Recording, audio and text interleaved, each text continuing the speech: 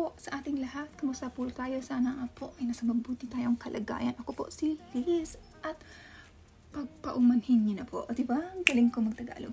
Pagpaumanhin niyo na po. Si Shell po ay not here as of the moment kasi po nagko-quarantine pa po siya. Although she's really a-okay, she's fine. Don't worry guys, worry. Um, and sad news for all the Shell fanatics out there. I know there's a lot of you, if not lahat, no? But all is good in the hood, but she will come back as soon as the quarantine is done which I think, sometime next week.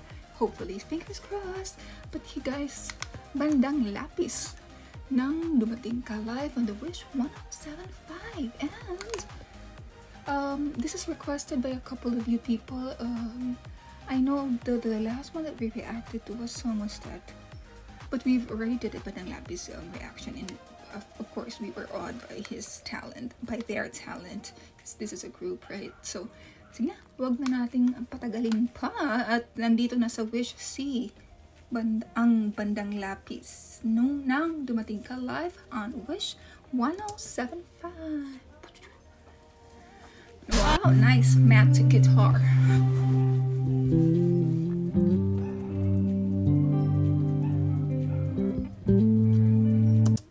Ko lang po, ang pa po nila, no? Oh my God, they're so young and they're so talented. And I love seeing seeing artists like this at this age because they will influence a lot of also like younger generation to to to follow their path and to lead them on a much on a much safer route, not towards you know what I'm talking about, right? With all the social media right now. Oh, let's not start talking about that kasi po may iritaran tayo parehas. Nag-iba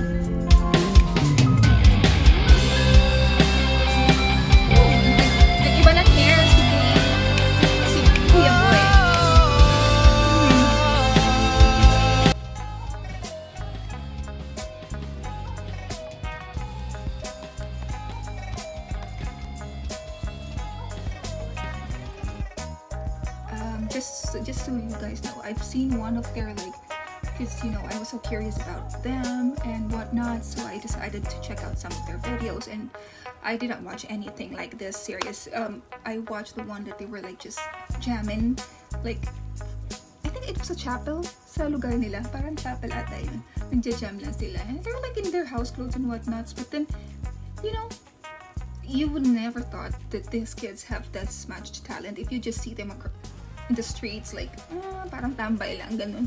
But no no no no. Don't judge a book by its cover. Ika nga po diba so they are very talented. Oh my gosh and they can play so well and even with with not much equipment they can still produce the required melody or sounds or tunes or whatnots to make a beautiful beautiful song out of it. And yeah that is that's commendable commendable. Kudos to all of you guys. Very very good